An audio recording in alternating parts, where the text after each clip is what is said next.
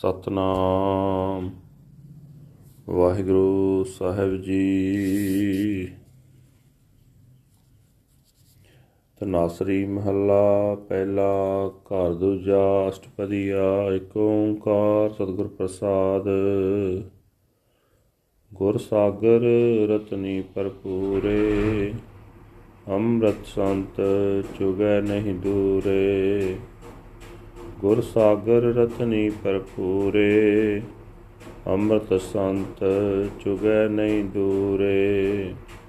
ਹਰ ਰਸ ਚੋਗ ਚੁਗੈ ਪ੍ਰਭ ਪਾਵੈ ਸਰਬਰ ਮੈਂ ਹੰਸ ਪ੍ਰਾਣ ਪਤ ਪਾਵੈ। ਕਿਆ ਭਗ ਬਪੜਾ ਛਪੜੀ ਨਾਏ ਕੀਚਲ ਟੂਪੈ ਮੈਲ ਨਾ ਜਾਏ ਰਹਾਉ ਰਖ ਰਖ ਚਰਨ ਤਰੇ ਵਿਚਾਰੀ ਦੁਬਦਾ ਛੋੜ ਪਏ ਨਿਰੰਕਾਰੀ। ਮੁਕਤ ਪਦਾਰਥ ਹਰ ਰਸ ਚਾਖੇ, ਆਵਣ ਜਾਣ ਰਹੇ ਗੁਰ ਰਾਖੇ। ਸਰਬਰ ਹੰਸਾ ਛੋੜ ਨਾ ਜਾਏ, ਪ੍ਰੇਮ ਭਗਤ ਕਰ ਸਹਿਜ ਸਮਾਏ। ਸਰਵਰ ਮੈਂ ਹੰਸ ਹੰਸ ਮੈਂ ਸਾਗਰ। ਆਕਥ ਕਥਾ, ਗੁਰ ਬਚਨੀ ਆਦਰ। ਸੁਨ ਮੰਡਲ ਇਕ ਜੋਗੀ ਬੈਸੇ। ਨਾਰ ਨ ਪੁਰਖ ਕਹੋ ਕੋ ਕੈਸੇ। ਤ੍ਰੇ ਪਵਨ ਜੋਤ ਰਹੇ ਲਿਵ ਲਾਈ। ਸੁਰ ਨਰ ਨਾਥ ਸਚੇ ਸਰਨਾਈ ਆਨੰਦ ਮੂਲੇ ਅਨਾਥ ਆਧਾਰੀ, ਗੁਰਮੁਖ ਭਗਤ ਸਹਿਜ ਵਿਚਾਰੀ। ਭਗਤ ਬਚਲ ਪੈ ਕਾਟਣ ਹਾਰੇ, ਹਉਮੈ ਮਾਰ ਮਿਲੇ ਪਗ ਧਾਰੇ। ਅਨਕ ਜਤਨ ਕਰ ਕਾਲ ਸੰਤਾਏ, ਮਰਨ ਲਿਖਾਏ ਮੰਡਲ ਮਹਿ ਆਏ ਜਨਮ ਪਦਾਰਥ ਦੁਬਿਧਾ ਖੋਵੈ ਆਪ ਨਾ ਚੀਨਸ, ਭ੍ਰਮ ਭ੍ਰਮ ਰੋਵੈ। ਕਹਿਤੋ ਪੜਤੋ ਸੁਣਤੋ ਏਕ। ਧੀਰਜ ਧਰਮ ਧਰਣੀ ਤਰ ਟੇਕ। ਜਤ ਸਤ ਸੰਜਮ ਹਿਰਦੈ ਸਮਾਏ। ਚੌਥੇ ਪਦ ਕੋ ਜੇ ਮਨ ਪਤਿਆਏ। ਸਾਚੇ ਨਿਰਮਲ ਮੈਲ ਨ ਲਾਗੈ। ਗੁਰ ਕੈ ਸ਼ਬਦ ਪਰਮ ਭਉ ਭਾਗੈ, ਸੂਰਤ ਮੂਰਤ ਆਦ ਅਨੂਪ, ਨਾਨਕ ਜਾਚੈ ਸਾਚ ਸਰੂਪ। ਸਾਚੇ ਨਿਰਮਲ ਮੈਲ ਨਾ ਲਾਗੈ, ਗੁਰ ਕੈ ਸ਼ਬਦ ਪਰਮ ਭਉ ਭਾਗੈ, ਸੂਰਤ ਮੂਰਤ ਆਦ ਅਨੂਪ। ਨਾਨਕ ਜਾਚੈ ਸਾਚ ਸਰੂਪ। ਵਾਹਿਗੁਰੂ ਜੀ ਕਾ ਖਾਲਸਾ, ਵਾਹਿਗੁਰੂ ਜੀ ਕੀ ਫਤਿਹ। ਇਹ ਹਨ ਅੱਜ ਦੇ ਪਵਿੱਤਰ ਹੁਕਮਨਾਮੇ ਜੋ ਸ੍ਰੀ ਦਰਬਾਰ ਸਾਹਿਬ ਅੰਮ੍ਰਿਤਸਰ ਤੋਂ ਆਏ ਹਨ। ਸਹਿਬ ਸ੍ਰੀ ਗੁਰੂ ਨਾਨਕ ਦੇਵ ਜੀ ਪਹਿਲੀ ਪਾਤਸ਼ਾਹ ਜੀ ਦੇ ਤਨਾਸਰੀ ਰਾਗ ਵਿੱਚ ਉਚਾਰਨ ਕੀਤੇ ਹੋਏ ਹਨ। ਘਰ ਦੂਜੇ ਸੁਰਤਾਲ ਵਿੱਚ ਗਾਉਣ ਦਾ ਹੁਕਮ ਹੈ, ਅੱਠਾਂ ਪਤਿਆਂ ਵਾਲਾ ਇਹ ਸ਼ਬਦ ਹੈ। ਪਰਮਾਤਮਾ ਇੱਕ ਹੈ, ਜਿਸ ਦੇ ਨਾਲ ਮਿਲਾਪ ਸਤਿਗੁਰੂ ਦੀ ਬਖਸ਼ਿਸ਼ ਦੇ ਨਾਲ ਹੁੰਦਾ ਹੈ। ਗੁਰੂ ਸਾਹਿਬ ਜੀ ਫਰਮਾਨ ਕਰ ਰਹੇ ਨੇ, ਗੁਰੂ ਮਾਨੋ ਇੱਕ ਸਮੁੰਦਰ ਹੈ, ਜੋ ਪ੍ਰਭੂ ਦੀ ਸਿਫਤ ਸਲਾਹ ਦੇ ਰਤਨਾ ਨਾਲ ਨੱਕਾ ਨੱਕ ਭਰਿਆ ਹੋਇਆ ਹੈ। ਗੁਰਮੁਖ ਸਿੱਖ ਉਸ ਸਾਗਰ ਵਿੱਚੋਂ ਆਤਮਿਕ ਜੀਵਨ ਦੇਣ ਵਾਲੀ ਖੁਰਾਕ ਪ੍ਰਾਪਤ ਕਰਦੇ ਹਨ। ਜਿਵੇਂ ਹੰਸ ਮੋਤੀ ਚੁਗਦੇ ਹਨ ਤੇ ਗੁਰੂ ਤੋਂ ਦੂਰ ਨਹੀਂ ਹੁੰਦੇ ਪ੍ਰਭੂ ਦੀ ਮਿਹਰ ਅਨੁਸਾਰ ਸੰਤ ਹੰਸ ਹਰ ਨਾਮ ਰਸਤੇ ਚੋਗ ਚੁਗਦੇ ਹਨ। ਗੁਰਸਿੱਖ ਹੰਸ ਗੁਰੂ ਸਰੋਵਰ ਵਿੱਚ ਟਿਕਿਆ ਰਹਿੰਦਾ ਹੈ ਤੇ ਜਿੰਦ ਦੇ ਮਾਲਕ ਪ੍ਰਭੂ ਨੂੰ ਲੱਭ ਲੈਂਦਾ ਹੈ। ਬੇਚਾਰਾ ਬਗਲਾ ਛੱਪੜੀ ਵਿੱਚ ਕਾਦੇ ਲਈ ਨਹਾਉਂਦਾ ਕੁਝ ਨਹੀਂ ਖੱਟਦਾ, ਸਗੋਂ ਛੱਪੜੀ ਵਿੱਚ ਨਹਾ ਕੇ ਚਿੱਕੜ ਵਿੱਚ ਡੁੱਬਦਾ ਹੈ। ਉਸ ਦੀ ਇਹ ਮੈਲ ਦੂਰ ਨਹੀਂ ਹੁੰਦੀ। ਜਿਹੜਾ ਮਨੁੱਖ ਗੁਰੂ ਸਮੁੰਦਰ ਨੂੰ ਛੱਡ ਕੇ ਦੇਵੀ ਦੇਵਤਿਆਂ, ਆਦਿਕ ਹੋਰ ਹੋਰ ਦੇ ਆਸਰੇ ਭਾਲਦਾ ਹੈ, ਉਹ ਮਾਨੋ ਛਪੜੀ ਵਿੱਚ ਹੀ ਨਹਾ ਰਿਹਾ ਹੈ। ਉੱਥੋਂ ਉਹ ਹੋਰ ਮਾਇਆ, ਮੋਹ ਦੀ ਮੈਲ ਸਹੇੜ ਲੈਂਦਾ ਹੈ, ਠਹਿਰਾਓ। ਗੁਰਸਿੱਖ ਬੜਾ ਸੁਚੇਤ ਹੋ ਕੇ ਪੂਰੀ ਵਿਚਾਰ ਨਾਲ ਜੀਵਨ ਸਫਰ ਵਿੱਚ ਪੈਰ ਰੱਖਦਾ ਹੈ। ਪਰਮਾਤਮਾ ਤੋਂ ਬਿਨਾਂ ਕਿਸੇ ਹੋਰ ਆਸਰੇ ਦੀ ਭਾਲ ਛੱਡ ਕੇ ਪਰਮਾਤਮਾ ਦਾ ਹੀ ਬਣ ਜਾਂਦਾ ਹੈ। ਪਰਮਾਤਮਾ ਦੇ ਨਾਮ ਦਾ ਰਸ ਚੱਕ ਕੇ ਗੁਰ ਸਿੱਖ ਉਹ ਪਦਾਰਥ ਹਾਸਲ ਕਰ ਲੈਂਦਾ ਹੈ, ਜੋ ਮਾਇਆ ਦੇ ਮੋਹ ਤੋਂ ਖਲਾਸੀ ਦਿਵਾ ਦਿੰਦਾ ਹੈ, ਜਿਸ ਦੀ ਗੁਰੂ ਨੇ ਸਹਾਇਤਾ ਕਰ ਦਿੱਤੀ, ਉਸ ਦੇ ਜਨਮ ਮਰਨ ਦੇ ਗੇੜ ਮੁੱਕ ਗਏ। ਜਿਵੇਂ ਹੰਸ ਮਾਨ ਸਰੋਵਰ ਨੂੰ ਛੱਡ ਕੇ ਨਹੀਂ ਜਾਂਦਾ, ਤਿਵੇਂ ਜਿਹੜਾ ਸਿੱਖ ਗੁਰੂ ਦਾ ਦਰ ਛੱਡ ਕੇ ਨਹੀਂ ਜਾਂਦਾ, ਉਹ ਪ੍ਰੇਮ ਭਗਤੀ ਦੀ ਬਰਕਤ ਨਾਲ ਅਡੋਲ ਆਤਮਿਕ ਅਵਸਥਾ ਵਿੱਚ ਲੀਨ ਹੋ ਜਾਂਦਾ ਹੈ, ਜਿਹੜਾ ਗੁਰਸਿੱਖ ਹੰਸ ਗੁਰੂ ਸਰੋਵਰ ਵਿੱਚ ਟਿਕਦਾ ਹੈ ਉਸ ਦੇ ਅੰਦਰ ਗੁਰੂ ਸਰੋਵਰ ਆਪਣਾ ਆਪ ਪ੍ਰਗਟ ਕਰਦਾ ਹੈ। ਉਸ ਸਿੱਖ ਦੇ ਅੰਦਰ ਗੁਰੂ ਵਸ ਪੈਂਦਾ ਹੈ।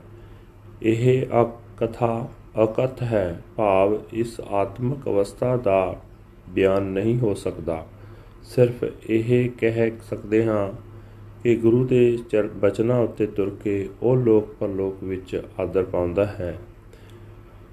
ਜਿਹੜਾ ਕੋਈ ਵਿਰਲਾ ਪ੍ਰਭੂ ਚਰਨਾਂ ਵਿੱਚ ਜੁੜਿਆ ਬੰਦਾ ਅਫੁਰ ਅਵਸਥਾ ਵਿੱਚ ਟਿਕਦਾ ਹੈ ਉਸ ਦੇ ਅੰਦਰ ਇਸਤਰੀ ਮਰਦ ਵਾਲੀ ਤਮੀਜ਼ ਨਹੀਂ ਰਹਿੰਦੀ। ਭਾਵ ਉਸ ਦੇ ਅੰਦਰ ਕਾਮ ਚੇਸ਼ਟਾ ਜ਼ੋਰ ਨਹੀਂ ਪਾਉਂਦੀ। ਦੱਸੋ ਕੋਈ ਇਹ ਸੰਕਲਪ ਕਰ ਵੀ ਕਿਵੇਂ ਸਕਦਾ ਹੈ? ਕਿਉਂਕਿ ਉਹ ਤਾਂ ਸਦਾ ਉਸ ਪਰਮਾਤਮਾ ਵਿੱਚ ਸੁਰਤ ਜੋੜੀ ਰੱਖਦਾ ਹੈ ਜਿਸ ਦੀ ਜੋਤ ਤਿੰਨਾਂ ਭਵਨਾਂ ਵਿੱਚ ਵਿਆਪਕ ਹੈ ਅਤੇ ਦੇਵਤੇ, ਮਨੁੱਖ, ਨਾਥ ਆਦਿਕ ਸਭ ਜਿਸ ਸਦਾ ਥਿਰ ਦੀ ਸਰਨ ਲਈ ਰੱਖਦੇ ਹਨ। ਗੁਰਮੁਖ ਹੰਸ ਗੁਰੂ ਸਾਗਰ ਵਿੱਚ ਟਿਕ ਕੇ ਉਸ ਪ੍ਰਾਣਪਤ ਪ੍ਰਭੂ ਨੂੰ ਮਿਲਦਾ ਹੈ, ਜੋ ਆਤਮਿਕ ਆਨੰਦ ਦਾ ਸੋਮਾ ਹੈ, ਜੋ ਨਿਆਸਰਿਆਂ ਦਾ ਆਸਰਾ ਹੈ। ਗੁਰਮੁਖ ਉਸ ਦੀ ਭਗਤੀ ਦੀ ਰਾਹੀਂ ਅਤੇ ਉਸ ਦੇ ਗੁਣਾਂ ਦੇ ਵਿਚਾਰ ਦੇ ਰਾਹੀਂ ਅਡੋਲ ਆਤਮਿਕ ਅਵਸਥਾ ਵਿੱਚ ਟਿਕੇ ਰਹਿੰਦੇ ਹਨ। ਉਹ ਪ੍ਰਭੂ ਆਪਣੇ ਸੇਵਕਾਂ ਦੀ ਭਗਤੀ ਨਾਲ ਪ੍ਰੇਮ ਕਰਦਾ ਹੈ। ਉਹਨਾਂ ਦੇ ਸਾਰੇ ਡਰ ਦੂਰ ਕਰਨ ਦੇ ਸਮਰੱਥ ਹੈ। ਗੁਰਮੁਖ ਹਉਮੈ ਮਾਰ ਕੇ ਅਤੇ ਸਾਧ ਸੰਗਤ ਵਿੱਚ ਟਿਕ ਕੇ ਉਸ ਆਨੰਦ ਮੂਲ ਪ੍ਰਭੂ ਦੇ ਚਰਨਾਂ ਵਿੱਚ ਜੁੜਦੇ ਹਨ, ਜਿਹੜਾ ਮਨੁੱਖ ਵਿਚਾਰੇ ਬਗਲੇ ਵਾਂਗ ਹਉਮੈ ਦੀ ਛਪੜੀ ਵਿੱਚ ਹੀ ਨਹਾਉਂਦਾ ਰਹਿੰਦਾ ਹੈ। ਤੇ ਆਪਣੇ ਆਤਮਿਕ ਜੀਵਨ ਨੂੰ ਨਹੀਂ ਪਛਾਣਦਾ, ਉਹ ਹਉਮੈ ਵਿੱਚ ਭਟਕ ਭੜ ਕੇ ਦੁਖੀ ਹੁੰਦਾ ਹੈ। ਪਰਮਾਤਮਾ ਤੋਂ ਬਿਨਾ ਕਿਸੇ ਹੋਰ ਆਸਰੇ ਦੀ ਭਾਲ ਕਰਕੇ ਸਹਿੜੀ ਹੋਈ ਆਤਮਿਕ ਮੌਤ ਉਸ ਨੂੰ ਸਦਾ ਦੁਖੀ ਕਰਦੀ ਹੈ। ਉਹ ਪਿਛਲੇ ਕੀਤੇ ਕਰਮਾਂ ਅਨੁਸਾਰ ਧਰੋਂ ਆਤਮਿਕ ਮੌਤ ਦਾ ਲੇਖ ਹੀ ਆਪਣੇ ਮੱਥੇ ਉੱਤੇ ਲਿਖਾ ਕੇ ਇਸ ਜਗਤ ਵਿੱਚ ਆਇਆ ਤੇ ਇੱਥੇ ਵੀ ਆਤਮਿਕ ਮੌਤ ਦੇ ਹੀ ਵਿਹਾਜਦਾ ਰਿਹਾ। ਪਰ ਜਿਹੜਾ ਮਨੁੱਖ ਇੱਕ ਪ੍ਰਮਾਤਮਾ ਦੀ ਸਿਫਤ ਸਲਾਹ ਦੀ ਹੀ ਨਿਤ ਉਚਾਰਦਾ ਹੈ ਪੜਦਾ ਹੈ ਤੇ ਸੁਣਦਾ ਹੈ ਤੇ ਧਰਤੀ ਦੇ ਆਸਰੇ ਪ੍ਰਭੂ ਦੀ ਟੇਕ ਰੱਖਦਾ ਹੈ, ਉਹ ਗੰਭੀਰ ਸੁਭਾਅ ਗ੍ਰਹਿਣ ਕਰਦਾ ਹੈ, ਉਹ ਮਨੁੱਖਾ ਜੀਵਨ ਦੇ ਫਰਜ਼ ਨੂੰ ਪਛਾਣਦਾ ਹੈ, ਜੋ ਮਨੁੱਖ ਗੁਰੂ ਦੀ ਸ਼ਰਨ ਵਿੱਚ ਰਹਿ ਕੇ ਆਪਣੇ ਮਨ ਨੂੰ ਉਸ ਆਤਮਿਕ ਅਵਸਥਾ ਵਿੱਚ ਗਿਜਾ ਲਏ। ਜਿੱਥੇ ਮਾਇਆ ਦੇ ਤਿੰਨੇ ਹੀ ਗੁਣ ਜੋਰ ਨਹੀਂ ਪਾ ਸਕਦੇ, ਤਾਂ ਸੁਤੇ ਹੀ ਜਤ, ਸਤ ਤੇ ਸੰਜਮ ਉਸਦੇ ਹਿਰਦੇ ਵਿੱਚ ਲੀਨ ਰਹਿੰਦੇ ਹਨ। ਸਦਾ ਥਿਰ ਪ੍ਰਭੂ ਵਿੱਚ ਟਿਕ ਕੇ ਪਵਿੱਤਰ ਹੋਏ, ਮਨੁੱਖ ਦੇ ਮਨ ਨੂੰ ਵਿਕਾਰਾਂ ਦੀ ਮੈਲ ਨਹੀਂ ਚੰਬੜਦੀ, ਗੁਰੂ ਦੇ ਸ਼ਬਦ ਦੀ ਬਰਕਤ ਨਾਲ ਉਸ ਦੀ ਭਟਕਣਾ ਦੂਰ ਹੋ ਜਾਂਦੀ ਹੈ। ਉਸ ਦਾ ਦੁਨੀਆ ਵਾਲਾ ਡਰ ਸਹਿਮ ਮੁੱਕ ਜਾਂਦਾ ਹੈ।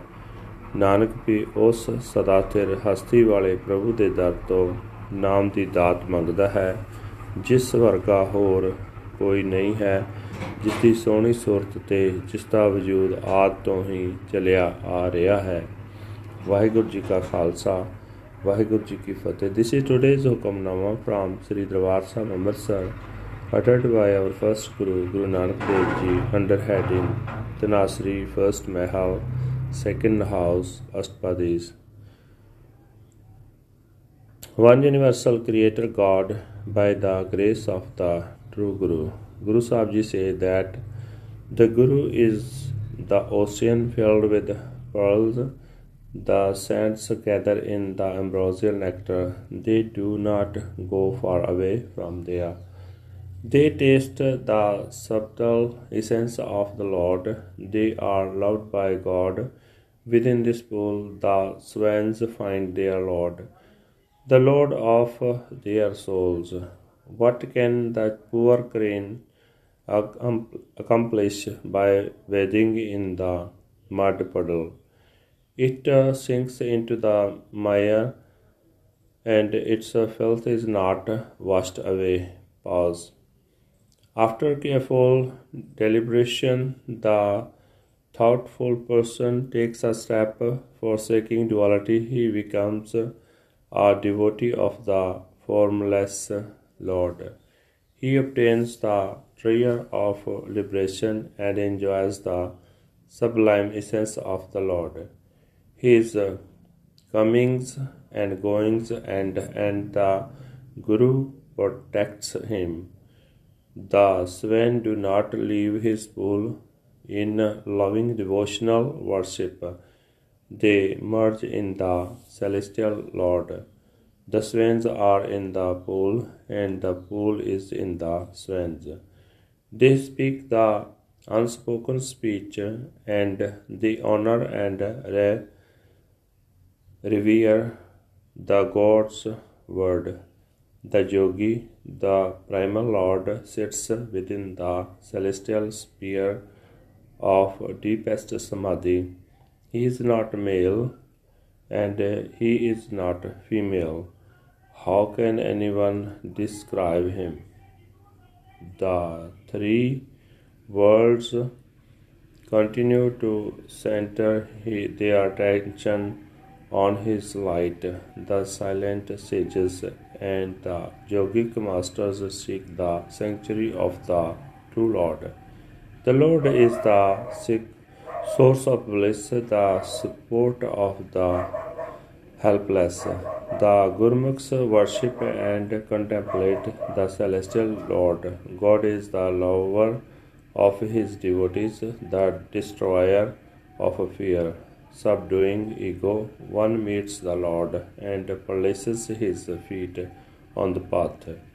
He makes many efforts, but still the messenger of death tortures him, destined only to die. He comes into the world, he wastes this precious human life through duality. He does not know his own self, and trapped by doubts, he cries out in pain, Speak, read, and hear of the one Lord. The support of the earth shall bless you with courage, righteousness, and protection, chastity, purity, chastity, purity, and self restraint are infused into the heart when one centers his mind in the fourth state. They are immaculate and true, and filth does not stick to them. Through the word of the Guru's Shabad, their doubt and fear depart. The form and personality of the Premal are incomparably beautiful. Nanak begs for the Lord, the embodiment of truth. Waheguru ji ਕਾ ਖਾਲਸਾ ਵਾਹਿਗੁਰੂ ਜੀ ਕੀ ਫਤਿਹ